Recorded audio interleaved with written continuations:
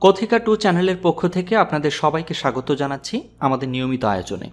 চলছে সুনীল গঙ্গোপাধ্যায় রচিত একটি উপন্যাস, পাহাড় ঘেরা হ্রদের ধারে। আজ পাঠ করছি তার পরবর্তী পর্ব, অর্থাৎ শেষ পর্ব। তিন। খাওয়া দাওয়ার পর কিছুক্ষণ গল্প হলো ছাদে বসে। এখানে কয়েকটা চেয়ার দেওয়া আছে। এখন খানিকটা জ্যোৎস্না ফুটেছে। অস্পষ্টভাবে দেখা যায় হ্রদটা।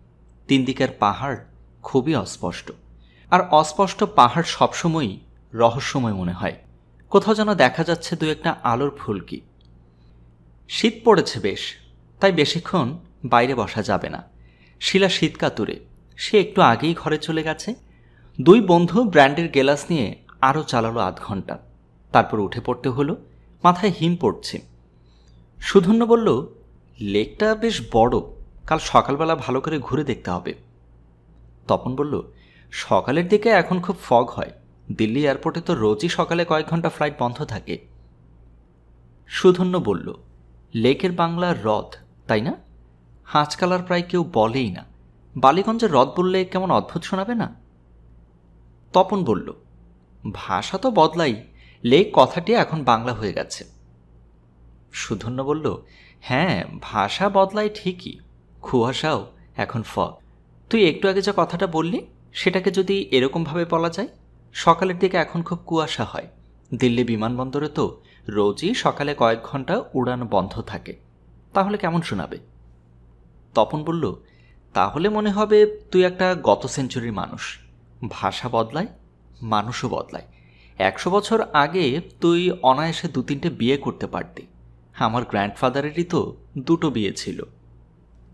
সুধন্য বলল, আমরা একটা বিয়ে করেই হিমশিম খেয়ে যাই। তখনকার দিনে ওরা দু তিনটে বউ সামলাতেন কি করে? তপন বলল, তখনকার দিনে লোকের স্ট্যামিনা ছিল। খাটে ঘি খেত তো। চলে রে, বড্ড শীত করছে। Good night. সুধন্য নিজের ঘরে এসে দেখল, শিলা মুখে হাতে ক্রিম মাখছে। মেয়েদের বিছানায় যাবার আগে প্রতিদিন এই কাজটা করতে হয়। একটা ছোট টেবিলের উপর রয়েছে দুটো মোমবাতি আর দেশলাই তার মানে রাত্রিরে আলো নাও থাকতে পারে। একটা রুম হিটার দিয়ে গেছে। সুধন্য সেটার কাছে গিয়ে একটু হাত পা সেঁকে নিতে লাগল। শিলা বলল, আমাদের ওখানকার তুলনায় এদেশে শীত বেশি লাগে, তাই না? আমি তো বাইরে বসতেই পারছিলাম না।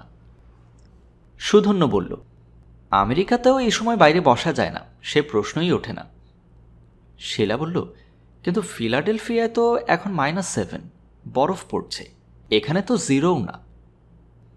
ম্যানেজার তখন বলল, রাত্রিরে চার পাঁচ হয়। আমাদের ওদিকে তো ফোর ফাইভ মানে বেশ ভালো ওয়েদার সুধন্য বলল, সবই আপেক্ষিক। এই রুম হিটারগুলোয় মোটেই সারা ঘর গরম হয় না। শিলা জিজ্ঞেস করল, তুমি এখন বাথরুমে যাবে? আমি একবার ঘুরে আসি? এসো। সুধন্য কাচের জানালার কাছে গিয়ে দাঁড়াল। বাইরেটা প্রায় কিছুই দেখা যায় না। তবে একটু দূরে অস্পষ্ট শব্দ হচ্ছে। খুব সম্ভবত বাদরগুলো কাছাকাছি ফিরে এসেছে। আসুক, দরজা জানালা সব বন্ধ। সে একবার ভাবল, বাদরেরা তো মানুষেরই পূর্বপুরুষ, ওদের শীত লাগে না? আহা, বেচারা বাদরেরা পাহাড়ের গুহাতেও থাকতে শিখেনি। বাথরুমের মধ্যে কিসের যেন একটা শব্দ হলো। প্রথমটা বোঝা গেল না, দ্বিতীয়বার আবার হতেই সুধন্য বুঝতে পারল, শিলা কোনো কারণে ভয় পেয়েছে। তাড়াতাড়ি সে বাথরুমের বন্ধ দরজার কাছে এসে জিজ্ঞেস করল এই কুহু, কি হয়েছে? ভেতর থেকে শিলা বলল, কিছু না। প্রায় সঙ্গে সঙ্গেই সে আবার চিৎকার করে উঠল। এ কি, কে? এবার দুমদুম করে দরজায় ধাক্কা দিয়ে সুধন্য বলতে লাগল, কুহু, কি হয়েছে? দরজাটা খোলো। শিলা তখনই দরজাটা খুলল না। ভেতরটা নিস্তব্ধ। সুধন্য ব্যস্ত হয়ে আরও জোরে দরজা ধাক্কাতে লাগল। কয়েক মুহূর্ত পর খুলে গেল দরজা। শিলার সহজ, স্বাভাবিক মুখ, ভুরু দুটিতে বিন্দু বিন্দু জল। সুধন্য উদ্বিগ্নভাবে বলল, কি ব্যাপার? কি হয়েছিল?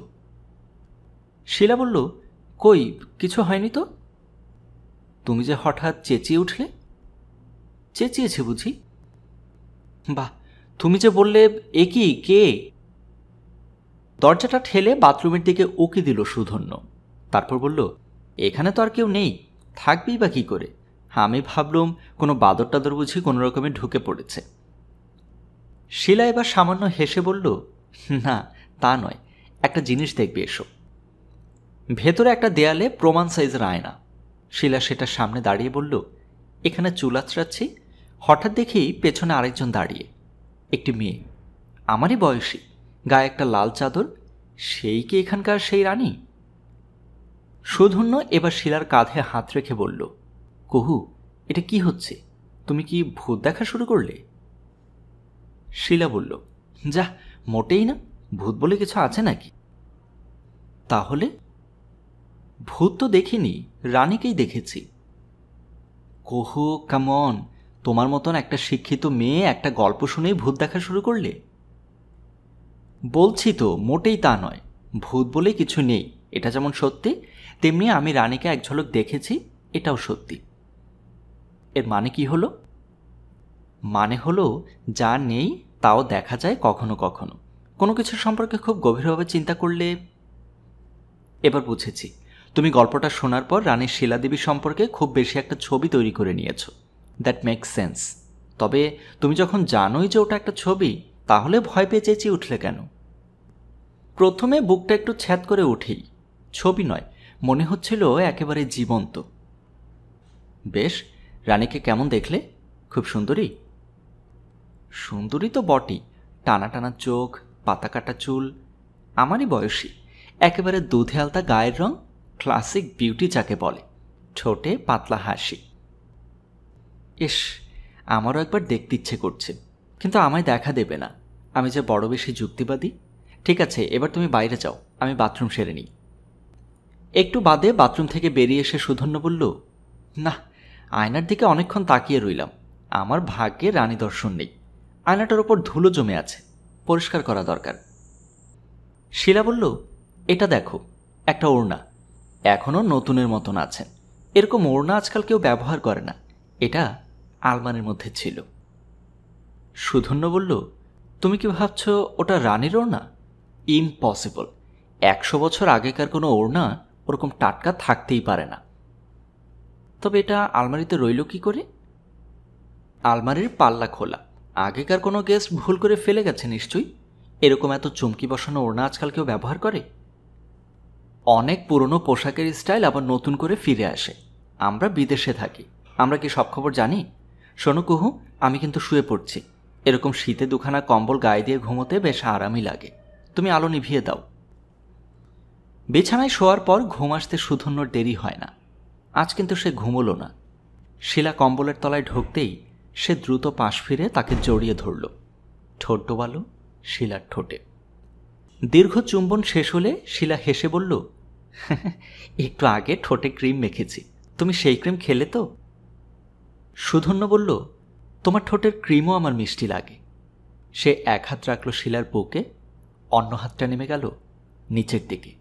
নাইটি সরিয়ে দেখার চেষ্টা করল শিলা প্যান্টটি পরে আছে কিনা। সেই হাতের ওপর একটা হাত রেখে শিলা বলল, আজ থাক। সুধন্য বিস্মিতভাবে বলল, কেন?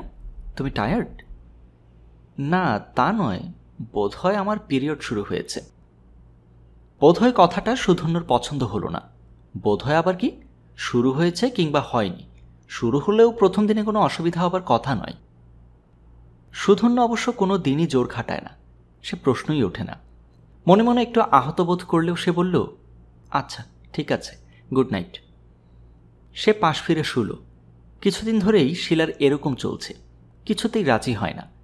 অণ্ঠিত পুরুষাঙ্গটি শান্ত না হলে ঘুম আসে না, তাই তার চোখ জুড়াতে একটু সময় লাগল। কতক্ষণ ঘুমিয়েছে তার ঠিক নেই।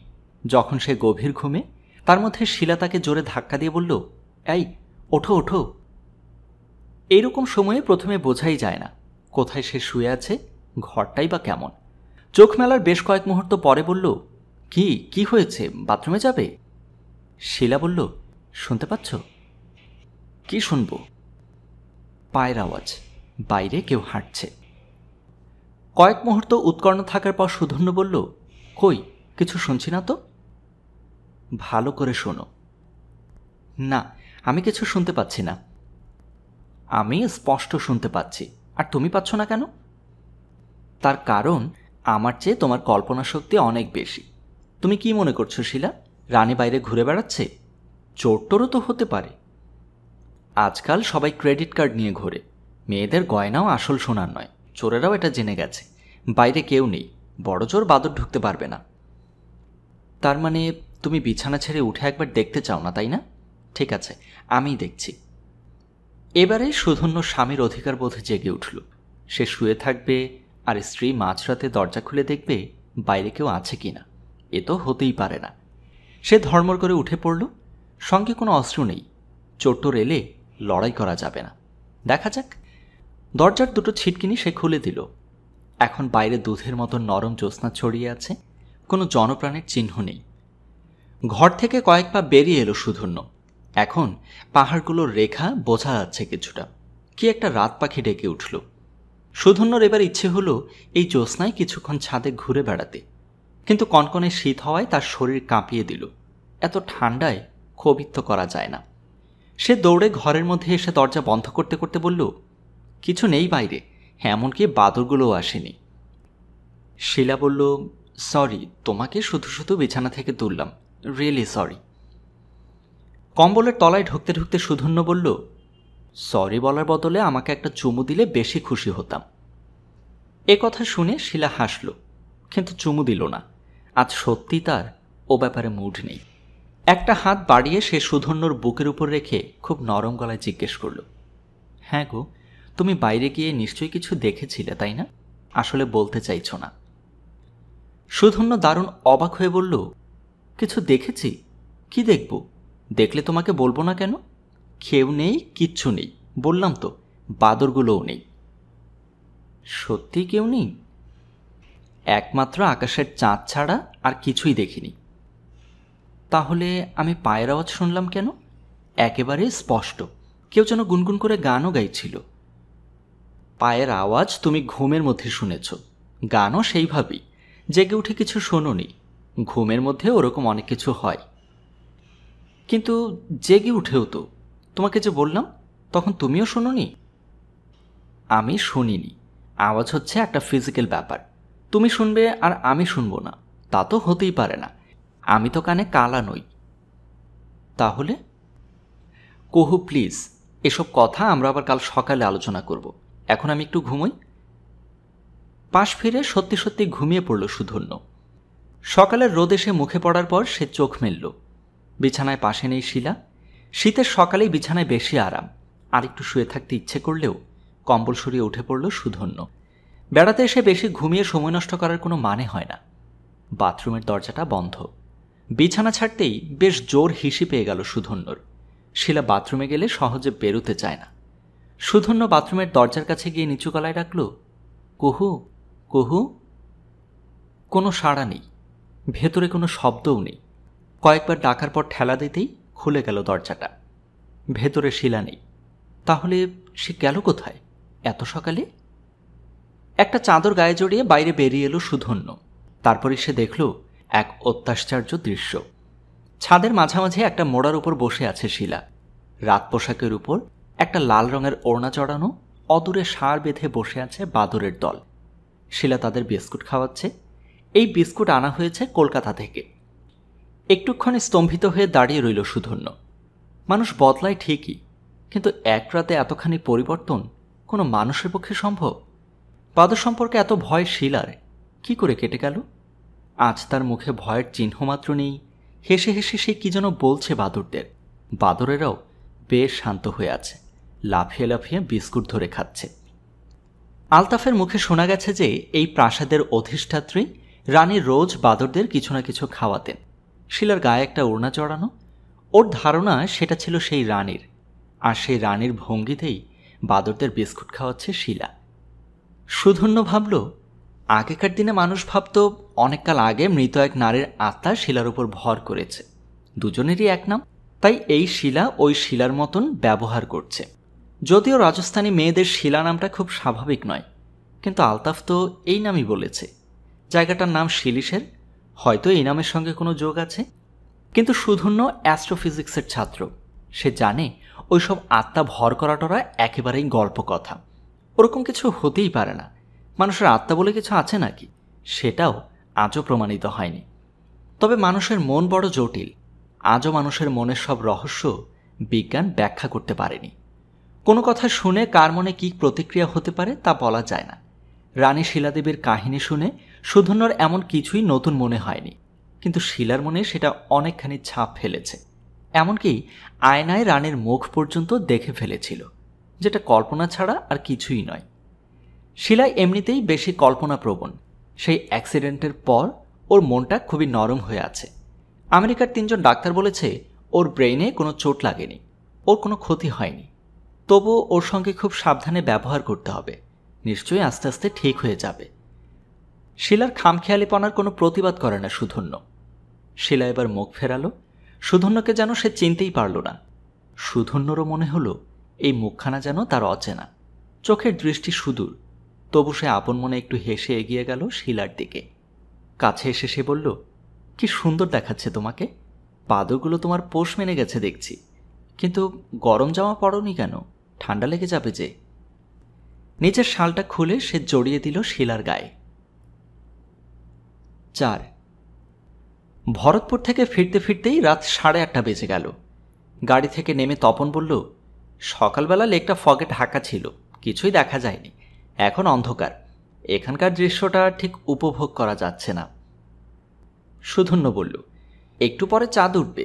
তখনও একটা অন্যরকম রূপ হয়। বাইরে বসলে, কিন্তু শীতের চোটে বাইরে তো বসবার উপায় নেই। তপন বলল, এবার বড় বেশি শীত পড়েছে। দিল্লির থেকে এখানে অনেক বেশি। শিলা বলল, পরশু থেকে আর কুয়াশা হবে না। তপন বলল, তাই নাকি? তুমি কি করে জানলে? শিলা বলল, পরশু তো শনিবার। শনি আর রবিবার এখানে কুয়াশা হয় না। তপন বিরাট জোরে অট্টহাসি করে বলল তাই নাকি? শনি রবিবার কুয়াশা হয় না? এ কথা জীবনে শুনিনি। তা তুমি কি করে জানলে? শিলা বেশ জোর দিয়েই বলল হ্যাঁ হয় না, আমি জানি। তপন বলল, আমরা তো এখানে আছি মাত্র দুদিন। তুমি তো কোনো শনি রবিবার এখানে থাকোই নি। সুধন্য উদ্বিগ্নভাবে তাকিয়ে রইল। শিলার এই ধরনের অযৌক্তিক কথা সে মেনে নেয়। কিন্তু তপন যদি বেশি ঠাট্টা তামাশা শুরু করে? কথা ঘোরাবার জন্য সুধন্য বলল, আমরা তো আর শনিবার পর্যন্ত এখানে থাকছি না। সুতরাং দেখাও হবে না। কালই ফিরতে হবে। তপন চোখ শুরু করে শিলার দিকে তাকিয়ে বলল, খুব একখানা দিলে হ্যাঁ? শনিবার, রবিবার ফগ থাকে না। ভ্যারি স্মার্ট প্রথমে আমিও বুঝতে পারিনি। চলো, আজ আমার ঘরে কিছুক্ষণ বসি। তপনের ঘরে খান্তিনেক চেয়ার আছে। অন্য ঘরে তা নেই। এ ঘরে পুরনো আমলের আসবাবপত্র কিছুই নেই। সাধারণ হোটেলের ঘরের মতন আয়তনে বেশ বড়, এই যা। তপন বলল, আমার কাছে হুইস্কে আছে। খানিকটা ভদকাও আছে। শিলা, তুমি কি খাবে? বিদেশে প্রায় সব বাড়িতেই সামাজিকভাবে কিছু না কিছু পানীয়ের ব্যবস্থা থাকে। যারা মদ্যপান করে না, তারা অন্যদের সঙ্গে কোনো ঠান্ডা পানীয়ের গেলাস হাতে নেয়। সুধন্য হুইস্কি পছন্দ করে, আর শিলা ভদকার সঙ্গে অরেঞ্জ স্কোয়াশ ভালোবাসে। সুধন্য বলল, তপন, একটা অরেঞ্জ স্কোয়াশ দিতে বলতো, কুহু ভদকার সঙ্গে মিশিয়ে খাবে। শিলা সঙ্গে সঙ্গে বলল, না না, আমি তো সব খাই না। তপন ভুরু তুলে বলল, খাও না। গত বছরও তো তুমি শিলা তবু জোর দিয়ে বলল, না, খাই না, তোমরাও কেউ এসব খাবে না।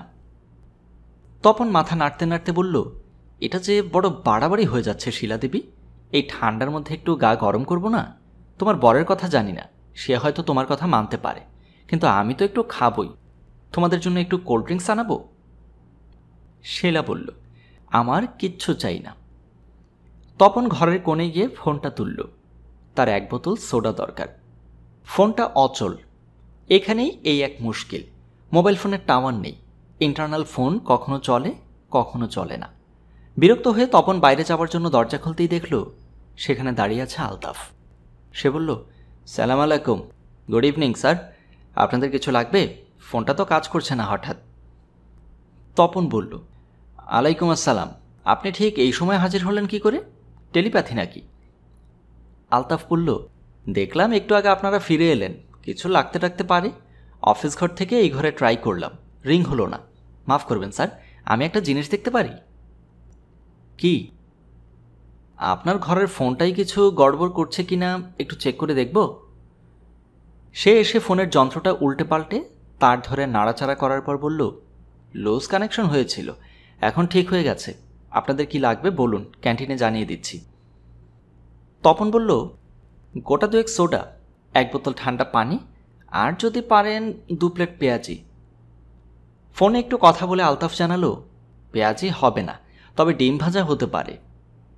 তপন আলতাফকে বলল, আপনি একটু বসুন না আমাদের সঙ্গে, আপনার খুব কাজ নেই তো? আলতাফ বলল, না না, আমার এখন কোনো কাজ নেই। মনে হলো যে এই ঘরে আড্ডা দেবার জন্যই সে প্রস্তুত হয়ে এসেছিল। বোতল বার করে নিজের গেলাসে ঢালতে ঢালতে তপন তার বন্ধুকে জিজ্ঞেস করল খিরে তুই খাবি কি খাবি না? তপন জানে, সুধন্য হুইস্কি পান করে প্রায় রোজই। আজ তার সামনে বউয়ের কথা শুনে পান না করলে পরে তপন তা নিয়ে নিশ্চয়ই খুব খ্যাপাবে একবার শিলার দিকে তাকিয়ে সুধন্য বলল হ্যাঁ খাব। সোডা দিস না, শুধু জল। তপন আলতাফকে জিজ্ঞেস করল, আপনার চলবে? আলতাফ সলজ্জভাবে বলল, একটুখানি চলতে পারে। শিলা তার দিকে তাকিয়ে বলল, আপনিও ড্রিঙ্ক করেন? আপনাদের ধর্মে নিষেধ আছে না? আলতাফ খুব বিনীতভাবে বলল, ম্যাডাম, ধর্মের সব নির্দেশ কি সব মানুষ অক্ষরে অক্ষরে পালন করতে পারে? কেউ কেউ পারে, সবাই পারে না। আপনাদের ধর্মের সব নির্দেশই কি আপনারা মানেন? তপন হাসতে হাসতে বলল, মদ্যপান বিষয়ে যে আমাদের ধর্মে কি নির্দেশ আছে, তা আমি জানিই না। মানুক বা না মানুক, মুসলমানরা কিন্তু তাদের শাস্ত্রের সব কিছু জানে। শিলা বলল, আমি ছোটবেলা থেকে আমার বাবাকে ড্রিঙ্ক করতে দেখেছি। তপন বলল, এই এই, তাহলে তুমি আমাদের বারণ করছিলে কেন? নিজের বাবাকে কখনো বারণ করেছ? শিলা কিছুটা অবাক হয়ে বলল, তোমাদের বারণ করেছি নাকি? কখন করলাম? আমার বাবা গেলাসে কয়েক চুমুক দেবার পর খুব সুন্দর কথা বলতেন। কত দেশ বিদেশের কথা। হুস্কির গন্ধটাও আমার বেশ ভালো লাগে। তপন বিমূরভাবে একটুক্ষণ তাকিয়ে থেকে বলল আজ তো দারুণ দিচ্ছ তুমি, শিলা। পিলে চমকে যাচ্ছে। এমন হিউমার ধরতেই পারছি না। তাহলে তুমি ভদকা খাবে? শিলা বলল, বাহ, আমাকে বাদ দিয়ে বুঝে আপনারা সবাই খাবেন? সুধন্য আলতাফকে জিজ্ঞেস করল, আপনি এখানে কতদিন আছেন? আলতাফ বলল, সাড়ে চার বছর হয়ে গেল। আপনাদের তিন বছর অন্তর ট্রান্সফার হয় না? হ্যাঁ হয়। আমাকে প্রমোশন দিয়ে জয়সেলমিরে পাঠানোর অর্ডার হয়েছিল। আমি যাইনি। আমার এই জায়গাটাই বেশি ভালো লাগে। সে কি? এত নির্জন জায়গায় কয়েকটা দিন বেশ ভালো লাগে। তারপর তো হাঁপিয়ে উঠতে হয়। এখানে অনেক কিছুই পাওয়া যায় না। ফোনে কানেকশন হয় না। তা হোক, তবু আমার কেমন যেন নেশা ধরে গেছে। গ্রীষ্মকালে এমনও হয়, সপ্তাহের পর সপ্তাহ রুমগুলো খালি থাকে। কেউ আসে না। কাজের লোকেরা সন্ধ্যের পরই চলে যায় গ্রামে। আমি একা। তখনও আমি বারান্দায় চেয়ার নিয়ে লেকের দিকে চেয়ে চেয়ে অনেক রাত পর্যন্ত কাটিয়ে দিই। তপন বলল, এত বড় প্যালেসটায় আপনি একা থাকেন। কখনো অস্বাভাবিক কিছু দেখেননি কিংবা শোনেননি? মানে অলৌকিক কিছু? আলতাফ বলল, না কোনো দিন না। তপন হতাশ হবার ভঙ্গি করে বলল, না ভূতরুতের গল্প কিছু নেই? আপনি যে বলেছিলেন, রানী শিলাদেবী ফিরে ফিরে আসেন? শিলা তীক্ষ্ণ গলায় বলল, আমার ভূতের গল্প একদম ভালো লাগে না। তোমরা অন্য কথা বলো।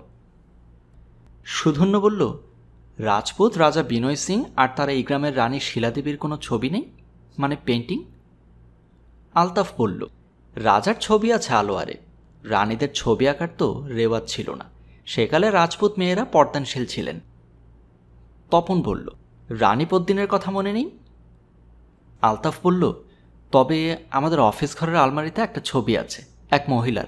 ফ্রেমটা পচে গিয়েছিল, তাই ছবিটা গুটিয়ে আলমারিতে রেখে দেওয়া হয়েছে। আমার আগে যিনি ম্যানেজার ছিলেন, তিনি বলতেন, ওটা রানীরই ছবি। ওটা অবশ্য পোর্ট্রেট নয়। অনেক পরে কেউ একজন মন থেকে রানীর কথা ভেবে এঁকেছিল। রানীকে সেই আর্টিস্ট দেখেছিল? না। তাহলে আর তাকে আঁকবে কী করে? গল্প চলল আরও ঘণ্টা খানেক তারপর খেতে যাওয়া হলো নিচে। রাত দশটা বেজে গেছে। এরপর যে যার ঘরে। পোশাক পাল্টে একটা সিগারেট ধরালো সুধন্য। শিলার এখন রাত্রিকালীন প্রসাধন চলবে কিছুক্ষণ। একটু বাদে কৌতুকের ছলে সুধন্য জিজ্ঞেস করল, আজ আবার বাথরুমের আয়নায় রানীকে দেখবে নাকি? শিলা ছট করে ফিরে তাকিয়ে বলল, এ কথা বললে কেন? আমি কি ভূত দেখি নাকি? ভূত কেন হবে? মনের ছবি। তুমি তো বলেছিলে মনের ছবি? আমার মনের যে কি হয়েছে, আমি নিজেই তার হদিস পাচ্ছি না। মাঝে মাঝে সব ওলট পালট হয়ে যাচ্ছে। কিচ্ছু হয়নি। তুমি একটু বেশি সেন্সিটিভ হয়ে আছো। আমি পাগল হয়ে যাব না তো? তুমি যদি নিজে না চাও, তাহলে হবে না। কুহু, ডাক্তারেরা বলেছেন তুমি সম্পূর্ণ সুস্থ। সত্যি? একদম সত্যি।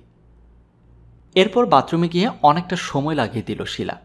সুধন্য দু একবার ভাবল, দরজা ধাক্কা দেবে কিনা? দিল না। প্রায় পঁয়তাল্লিশ মিনিট পরে দরজা খুলল শিলা। এখন তার মুখের চেহারা আবার অন্যরকম। সুধন্যর দিকে না তাকিয়ে সে পোশাক খুলতে লাগল।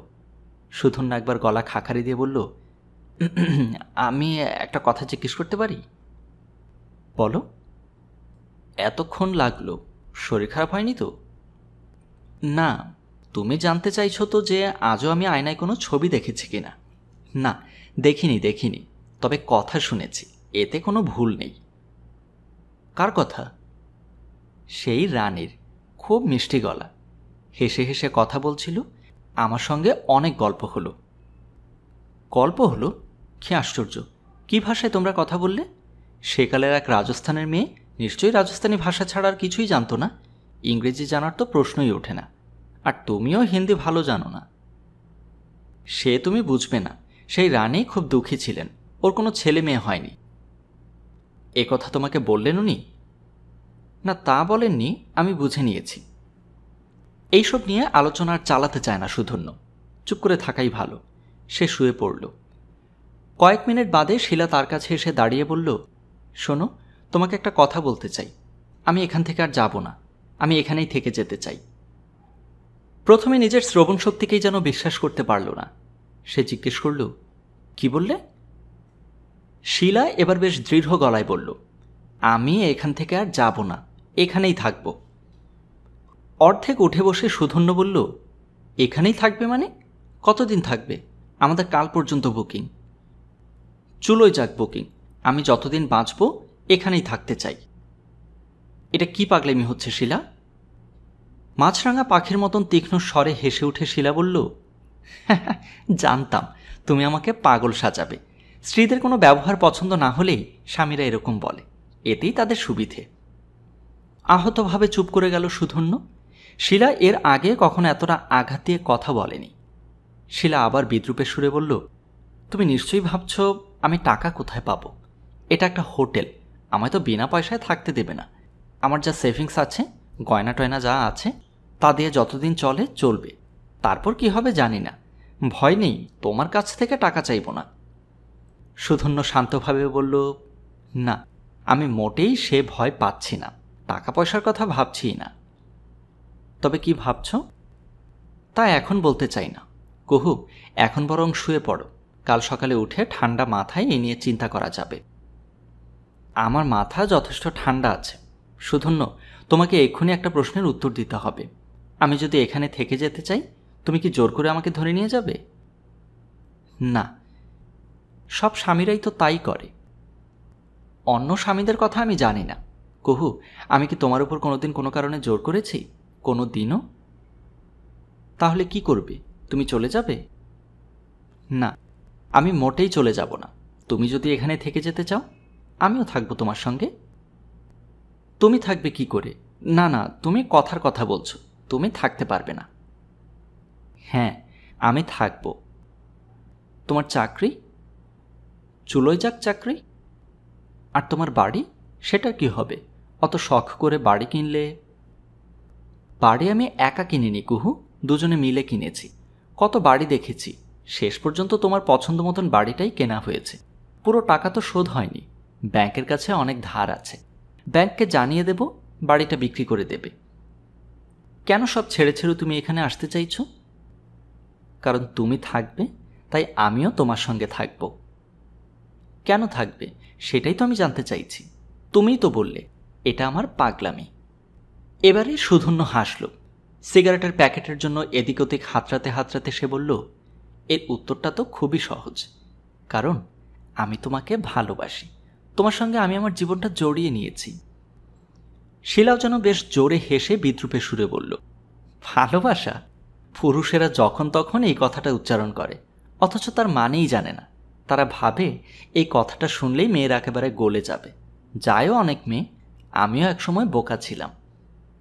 সুধন্য ঝুঁকে পড়ে শিলার হাত ধরে আন্তরিক মিনতি করে বলল, কহু প্লিজ এখন শুয়ে পড়ো। সকালবেলা আমরা এই নিয়ে সিরিয়াসলি কথা বলব। বেশ জোরে নিজের হাত ছাড়িয়ে নিয়ে ঝাঁজের সঙ্গে শিলা বলল, না, আমি শোবো না। আর কোনো দিন তোমার সঙ্গে এক বিছানায় শোবো না। আমি সারা জীবন একা থাকতে চাই। শিলার গলার আওয়াজ শুনেই বোঝা যায়, এ কথাগুলো যেন তার নিজের নয়, কেউ তাকে দিয়ে বলাচ্ছে। এরকম কড়া কথা শিলা তাকে কখনো বলেনি। কোনো ঝগড়াও তো হয়নি দু মাসের মধ্যে। সিগারেটের প্যাকেটটা খুঁজে পেয়ে সুধন্য একটা ধরালো। চুপ করে রইল একটুক্ষণ। তারপর আস্তে আস্তে বলল, কুহু, তোমাকে একটা কথা জিজ্ঞেস করব? তুমি ঠিক উত্তর দেবে? শিলা উত্তপ্ত গলায় বলল, কেন উত্তর দেব না? আমি কি তোমাকে ভয় পাই নাকি? ভয়ের কথা হচ্ছে না। আমি জানতে চাইছি। তুমি কি কোনো কারণে এই প্যালেসের যে রানী ছিলেন শিলা দেবী, তার সঙ্গে নিজের কোনো রকম যোগাযোগ যোগাযোগ মানে? একশো বছর আগে যিনি মারা গেছেন, তার সঙ্গে কোনো যোগাযোগ হতে পারে নাকি? অ্যাপসার্ট তবে যে বললে তুমি তার কথা শুনেছ? সেটা তো আমি নিজের মনে মনে শুনেছি, নিজেই নিজেকে বলেছি, সবটাই আমার বানানো। এ তো ঠিকই বলছো, স্বাভাবিক কথা, তাহলে আমার উপর হঠাৎ এত রাগ হলো কেন? রাগের কি আছে? কাল থেকে আমার মনে হচ্ছে তুমি আসলে রাজা বিনয় সিংয়ের বংশধর। হ্যাঁ? কি বলছো তুমি? আমি রাজপুত রাজার বংশধর। আমি ডাল ভাত খাওয়া বাঙালি। জীবনে কখনো ঢাল তলোয়ার ছুঁয়েও দেখিনি। আমার চোদ্দ পুরুষ ভেত বাঙালি। সে কথা বলছি না। তোমরা একই। মেয়েদের তোমরা মানুষ বলেই গণ্য করো না। গ্রাম থেকে তুলে এনে একটা মেয়েকে বিয়ে করলে ঐশ্বর্য দেখাবার জন্য এত বড় একটা প্যালেস বানিয়ে দিলে। তারপর দু একবার মাত্র দেখা দিয়ে আর এলেই না। সে মেয়েটির কি হলো না হলো, সে কি চায়, সে কীভাবে বেঁচে আছে, তা গ্রাহ্যই করলে না। কি বলছো কুহু? এসব আমি করেছি? নিশ্চয়ই করেছ। আমি তোমাকে অবহেলা করেছি? তোমার থেকে কখনো দূরে থেকেছি? অফকোর্স অফিসের কাজের নামে মাসের মধ্যে চোদ্দ দিন চলে যাওনি? সে তো সত্যি অফিসের কাজ। ও দেশে এরকমই হয়। আমি তোমার সঙ্গে তর্ক করতে চাই না। মোট কথা, আমি এখানে একলা থাকতে চাই। তুমি চলে যাও। না, তুমি এখানে থাকলে আমিও থেকে যাব। বলছি না আমি একা থাকতে চাই? একেবারে একা। চাঁদের আলোয় একা একা ঘুরব। কুহু, তুমি একটু আগে বলছিলে তুমি এখানে থাকলে আমি জোর করে তোমায় নিয়ে যাব কিনা। আমি যদি এখানে থাকতে চাই, তুমি জোর করে আমায় তাড়িয়ে দিতে পারবে? এই কথার উত্তর না দিয়ে হঠাৎ পেছন ফিরে দরজা খুলে বাইরে বেরিয়ে গেল শিলা। সুধন্য সঙ্গে সঙ্গে ছুটে এলো বাইরে। শিলার গায়ে শুধু পাতলা রাত পোশাক। বাইরে হু হু শীতের বাতাস। আমি তোমাকে কখনো জোর করি না। এখন জোর করতে বাধ্য হব। এই ঠান্ডায় ঘুরলে তোমার নির্ঘাত নিউমোনিয়া হয়ে যাবে। ঘরে চলো। শিলা বেপরোয়াভাবে বলল, না, যাব না। সুধন্য, আমার মাথায় চোট লেগেছিল। আমি অন্য মানুষ হয়ে গেছি। আমি আর তোমার বউ নই। তুমি আমাকে ছেড়ে দাও। সুধন্য বলল, না, মাথায় চোট লাগার জন্য তোমার কোনো ক্ষতি হয়নি। এটাও তোমার কল্পনা। শিগগির ঘরে চলো। না, যাব না। সুধন্য দুহাত দিয়ে জড়িয়ে ধরে শিলাকে টেনে আনতে লাগল ঘরের দিকে। শিলার ঝটাপটিতে বারবার সুধন্যর হাত লেগে যেতে লাগল শিলার বুকে। পুরুষ হিসেবে উষ্ণ হয়ে উঠল তার শরীর। খুব কাছে এনে সে শিলাকে চুম্বন করতে লাগল। শিলা ঠোঁট ফিরিয়ে নেবার চেষ্টা করেও পারল না। গার্হ চুম্বন দিল সুধন্য। দ্বিতীয়বার চুম্বনে শিলা তেমন আপত্তি করল না। ঘরে এনে বিছানায় শিলাকে শুইয়ে দেবার পরে সুধন্যর পুরুষত্ব জেগে উঠল পুরোপুরিভাবে। শিলার রাত পোশাকটা তুলে দেখল, জাঙ্গিয়া পরা আছে কিনা। নেই, তার মসৃণ উরু ও নারী চিহ্ন। সুধন্য শুয়ে পড়ল শিলার উপর। এবার শিলা আর প্রতিরোধ করল না। পুরো ব্যাপারটা তুমুলভাবে শেষ হওয়ার পর দুজনে পাশাপাশি চুপচাপ শুয়ে রইল কিছুক্ষণ। একটু বাদে শিলা বলল, এই শুনছ, ঘুমিয়ে পড়লে? সুধন্য বলল, না, আমি তোমার উপর জোর করলাম বলে তুমি রাগ করনি তো? এর উত্তর না দিয়ে শিলা আবেশ মাখা গলায় বলল, আমরা কবে বাড়ি যাব? আমার আর মন টিকছে না। সুধন্য বলল, কোন বাড়ি? শিলা বলল, আমাদের নিজের বাড়ি। কলকাতার বাড়ি তো আমাদের বাড়ি নয়, তোমার দাদা বৌদির বাড়ি। দুর্গাপুরের বাড়িও তো আমার মা বাবার বাড়ি। আমাদের আসল বাড়ি ফিলাডেলফিয়ায়। কত শখ করে বাড়িটা কেনা হলো। এসব ভালো করে সাজাতে হবে। আর দেশে থাকতেই ভালো লাগছে না। আমরা কবে ফিরব? সুধন্য বলল, আমরা কালই বেরিয়ে পড়ব। এখন ঘুম ঘুমো শোনা শিলা তার মাথায় হাত বুলিয়ে দিতে লাগল। গল্পের সমাপ্তি এখানেই। কথিকা টু চ্যানেলের পক্ষ থেকে আপনারা শুনছিলেন সুনীল গঙ্গোপাধ্যায় রচিত একটি উপন্যাস, পাহাড় ঘেরা হ্রদের ধারে। আশা করছি সবাই উপভোগ করেছেন। এমনই আরও বড় গল্প বা উপন্যাস পেতে আমাদের এই চ্যানেলটি সাবস্ক্রাইব করে আমাদের পাশে থাকবেন। নতুন কোনো গল্প শোনার আমন্ত্রণ জানিয়ে আজকের মতো বিদায় নিচ্ছি।